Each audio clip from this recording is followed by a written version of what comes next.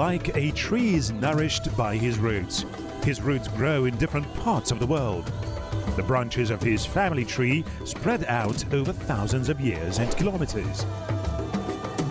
But he considers himself a son of the Kazakh land, the land where the nomads of the Great Steppe reached the highest goals. Arman Umarkojiev, traveler, historian, archaeologist in the new season of the Ken Dala project.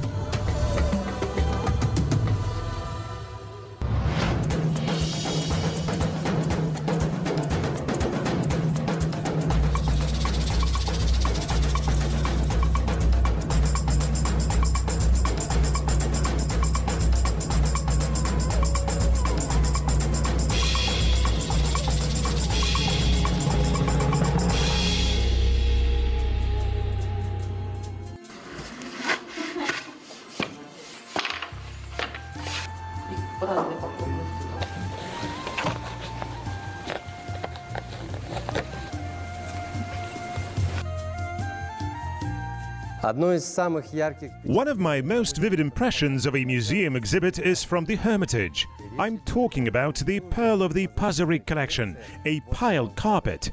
When I saw it for the first time, my initial thought was, no way, what a beauty! How is it possible that this carpet is two and a half thousand years old?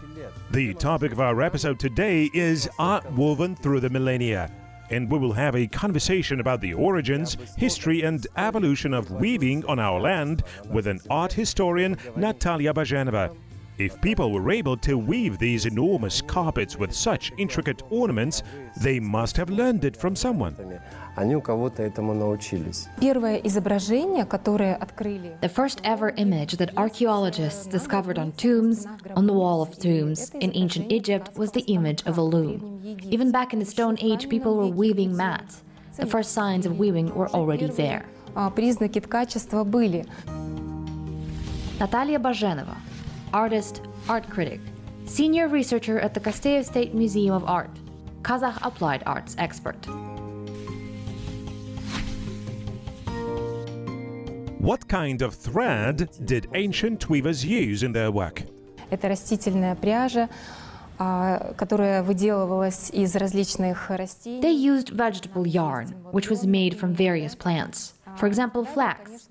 Then, of course, wool threads. And a little later, when silk appeared in ancient China, people started using it in carpet weaving as well. Interesting point is that silk carpets are of different quality. There is a very high number of knots per one square decimeter in silk carpets. In fact, the quality of a rug is determined by the number of Один knots. квадратный дециметр, а, очень-очень много узлов.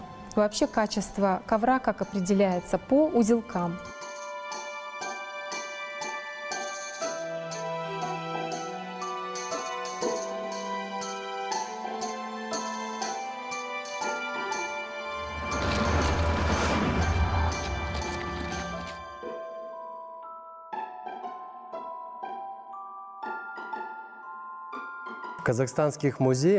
The Bronze Age expositions in Kazakh museums have reconstructions of clothes of Andronovo culture. Does this mean that already back then people could weave fabric for clothes? They wove fabric for dresses, for outer clothing, and for headdresses. It was a simple weave that was used to create clothes afterwards. So it means that nomads had already been engaged in sheep farming, and the first material they used was sheep wool. It's not without reason that they say Golden Fleece, because it is absolutely impossible to imagine the life of nomadic civilization without wool, without sheep. And the sheep is a totem animal for a reason. The clothing of the Andronovo tribes was predominantly red. What dyes did they use and why those in particular? The reason is that throughout the entire territory of Kazakhstan and beyond grows a plant called marena. What makes this plant unique is that every part of its roots and stems is used to create different colors. Artisans can obtain so many color shades and gradations, it's really amazing. Maybe this also explains the fact that the yurt is predominantly red in color. Not just a bright red color, but a deep shade of it. As the Kazakhs say, khongr. It's a rich, deep, and beautiful color. From pink shades to deep brown, burgundy, and ruby, the palette is simply spectacular.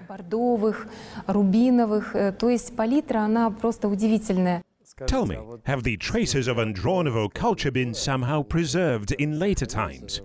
And in what ways have they manifested in Kazakh culture? First and foremost, it's manifested via geometric style. In general, geometric style is characteristic of weaving since these forms are the easiest to make. So it's like when a child draws some simple lines at first and then, as he grows older, these lines become more complex and transform into something intricate, right? Indeed, at first there were zigzag lines, squares, rhombi and triangles. Well, as a matter of fact, they are present in modern carpets as well. We began our conversation with the Pazyryk carpet. It is really huge in size. This carpet is interesting from the point of view of artistic style and is absolutely priceless from the archaeological point of view.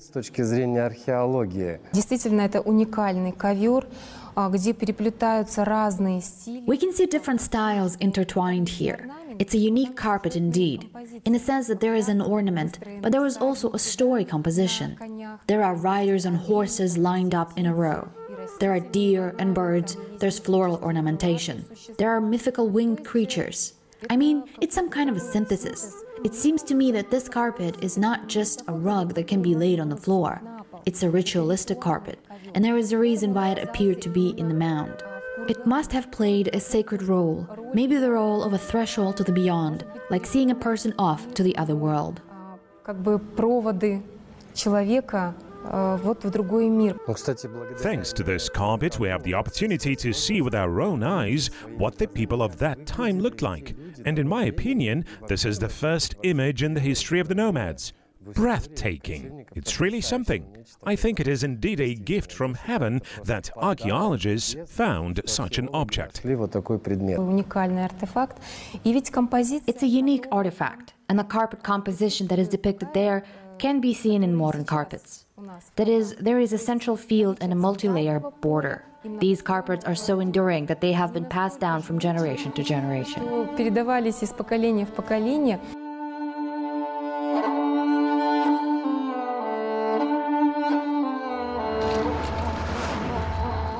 The Huns came to replace the Sakas. The Huns showed themselves to be more active, more mobile, and their nomadic way of life influenced the development of weaving as well.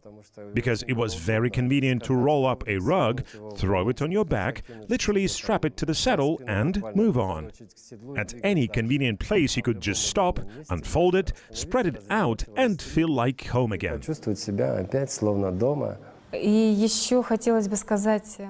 I would also like to say I just recalled this property of rule. It turns out that when a man went away and knew that he would spend the night in the steppe, he took with him a rope made of wool, like a lasso. It helped to scare off snakes and insects. That were just panic stricken with sheep, which could trample and crush them and their nests. Can you imagine such an incredible invention? Just simple rope that protected the human.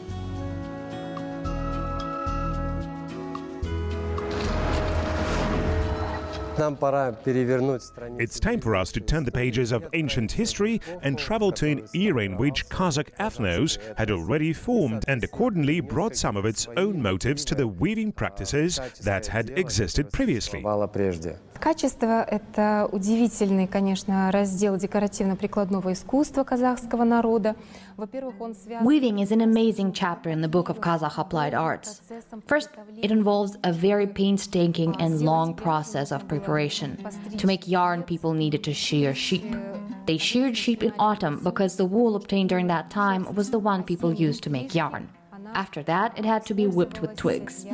To do that, women used to sit together and whip this wool. Then, the artisans made the yarn, dyed it, and prepared it for weaving. круг и а, взбивали эту шерсть. Мастерицы делали пряжу, красили ее, готовили к тому, чтобы if we take a virtual tour around a Kazakh yurt, a traditional Kazakh yurt, what types of weaving and items will we see in the first place?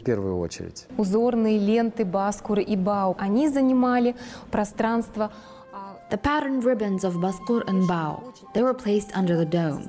They looked very beautiful when hung up, creating this kind of a pattern. And they resemble the Milky Way, you could say, dotted with these ornaments. The ornaments are very different. In some of the Akhbaskurs, they are not even repeated. Can you imagine? There are 20 meters of pattern and absolutely no repetition. The symbolism of the tree of the world, threefold nature of the universe, such deep symbolism is contained in these ornaments. Can we state that the Baskur has its own language? And by looking at it, can we get any additional information about people, about what was going on in this or that family? семье? Вот это очень интересный вопрос, потому что баскуры, особенно Ах-Баскур, Now, this is a very interesting question because Baskurs, especially Akhbaskurs of western Kazakhstan, eastern Kazakhstan, and southern region, are just like an encrypted map. For example, there is the Akhbaskur Alasha in a museum collection, which depicts the jewelry of the Kazakh people. When the artisans transferred this ornament on the pattern ribbon, they implied the function of a talisman. Here we can notice both geometric and cosmogonic ornamentations, but also some zoomorphic and vegetative. So it's a kind of synthesis of these ornaments. Each region and even each tribe has its own specific ornamentation. Это какой-то вот синтез таких орнаментов. Каждый регион и даже каждый род имеет какие-то свои определенные орнаменты. А какие виды And what kind of looms did they use? использовали? Горизонтальный they used horizontal weaving loom called urmek. Kazakh artisans used it up until the 1980s. It was very convenient. It was a demountable, transportable construction. That is, a master could collect it at any time, wrap it up, and then unfold and continue weaving in some other place. For example, the same baskur bao, which were woven to fasten the frame of the yurt along the entire perimeter, reached up to 30 meters. Can you imagine? Naturally, weaving them required a lot of time. The masters could not make them in one day. Thanks to this demountable and easily transportable construction of the loom, the masters were able to continue their work at any time. They used to weave mainly near the yurt in the daytime under the canopy. юрты в дневное время под навесом.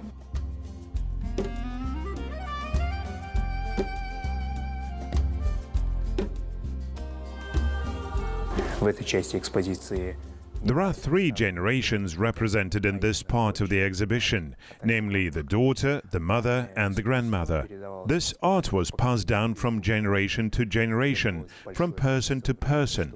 It took a long time to master because it took long hours of hard work to create a И,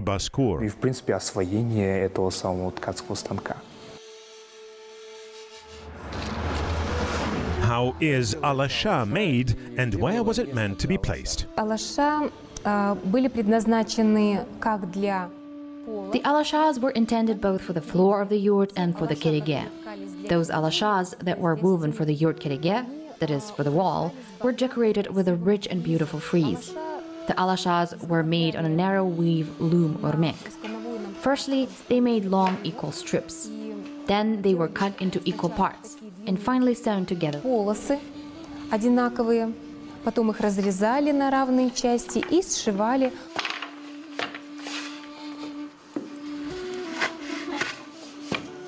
Let's continue our discussion about the anthology and varieties of Kazakh traditional carpets. Pile carpets are woven with one and a half knot and a double knot. This is a very ancient technology which has been preserved in Pazyryk culture since even more ancient times.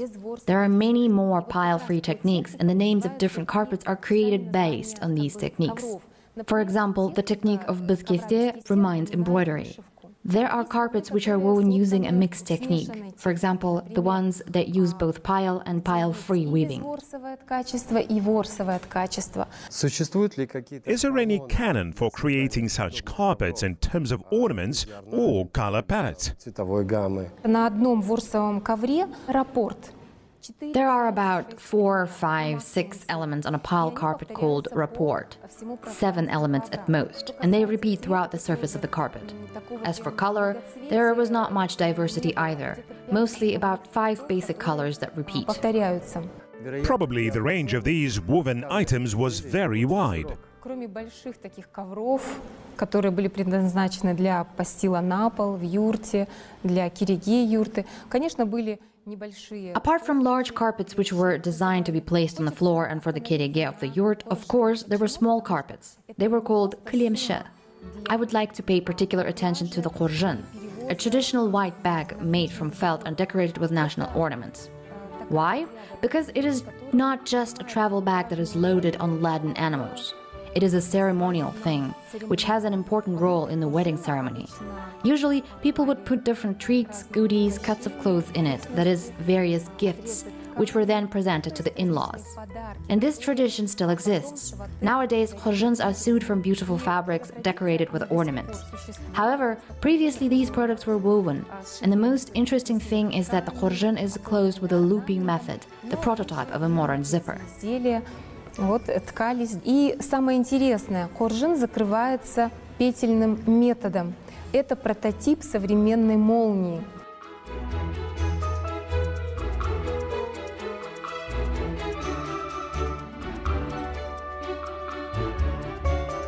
қоржынның қазақта көптеген түрлері бар өздерінің заттарына бай. As for the subject of korjin, the Kazakhs have many kinds of korjins, the names of which are associated with their purpose. For example, the korjin for storage of common utensils is called ayak cup. The korjin under the name of kesir cup is intended for piala, drinking bowls, storage. The korjin spread to its full length, was thrown over the back of the saddle. By the way, this travel bag was used not only during migrations.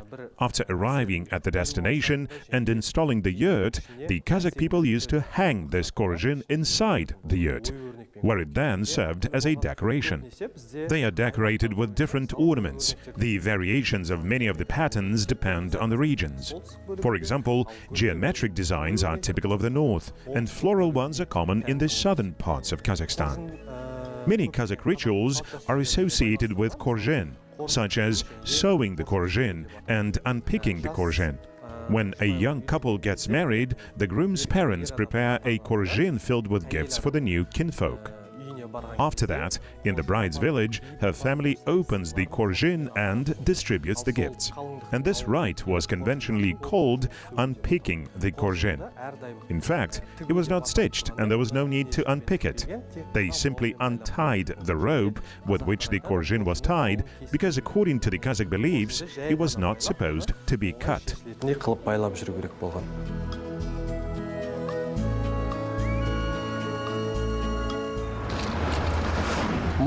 Can you name the regions which became central to the Kazakh weaving? The type of weaving that was widespread throughout the entire territory of Kazakhstan was pile-free weaving. As for pile weaving, it was concentrated in the south of Kazakhstan. This is the place where pile carpets, the real ones from sheep's wool, were woven. Probably it can be explained by the fact that it takes much longer to weave a pile carpet rather than a pile free one. The summers in the south are way longer and there is more sun.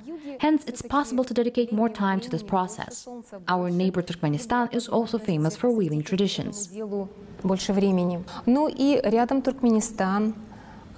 Тоже который славится традициями ткачества. существовали Were there any ceremonies or rituals when weavers were doing their work? занимались своим делом Вот прежде чем начать ткать, мастерица. Before they started weaving, masters used to invite guests, their friends and relatives, and organized a celebration in order to make a carpet of good quality and one that would serve well for a long time. When they finished making the carpet, they also gathered guests and arranged a feast. In fact, the traditions of applied arts of any nation are very sustainable. They are based on some inner sacred foundations. Being passed down from generation to generation, from mother to daughter, little has changed. Although Kazakh artisans of the 20th century could adopt something new easily, they even wanted to deviate from tradition a little. This is why, in the 1970s and 80s, we have examples of carpets that depict animals. While in fact, Kazakh ornaments do not really have specific images of animals, they are all stylized as ornaments. Да, 20 века у нас есть образцы ковров, на которых есть какие-то животные. В казахском орнаменте нет конкретно изображений животных. Все они стилизованы под орнамент. You know, I've seen some depictions of folk artists on them. Не удивлюсь, потому что у нас тоже есть и портрет. I wouldn't be surprised, because we have portraits too. It was done well with volume and shadows. This is quite a tapestry. Не гобелен.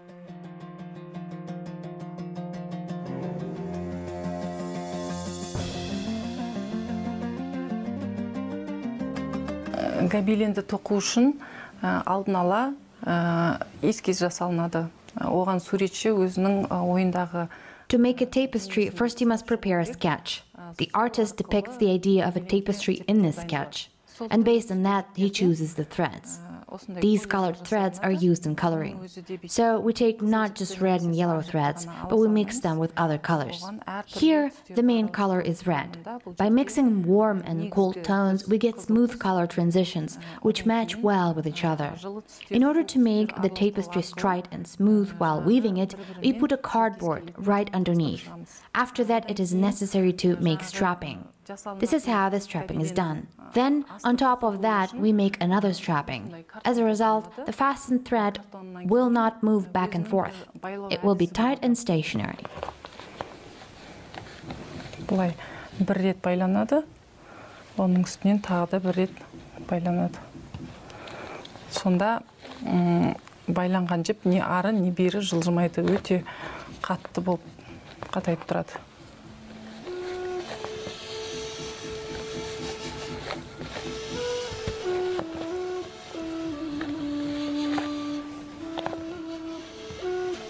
Um, this technique has been around since ancient times, and we still use it today.